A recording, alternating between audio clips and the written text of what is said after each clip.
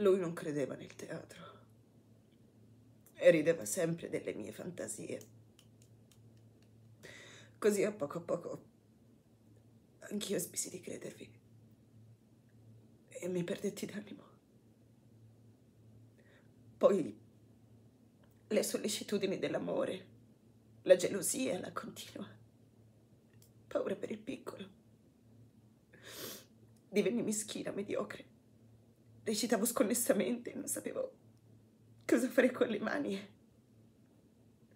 Non dominavo più la voce. Tu non puoi capire la sensazione di, di chi si sente di recitare in maniera orribile. Beh, io sono un cappiano. Ma il centro...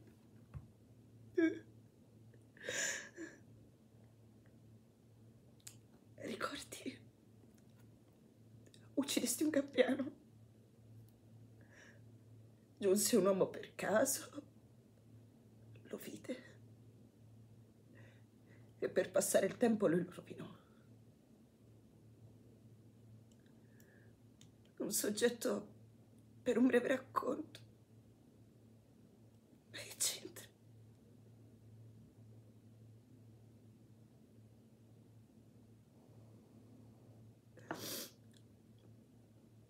Dove ero rimasta? Sì. Alla scena. Adesso io mi sento diversa. Recito con entusiasmo, con piacere. Mi inebrio sul palcoscenico e, e mi sento bellissima. Poi da quando sono qua io cammino. Cammino a lungo e penso e, e sento crescere dentro di me le mie forze spirituali.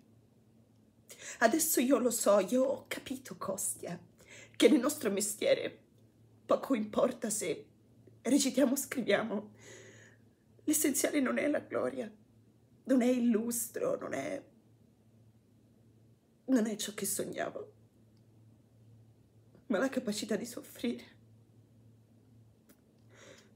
Sappi portare la tua croce e abbi fede.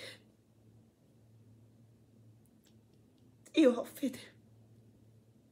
E quando penso alla mia vocazione, io non ho più paura della vita.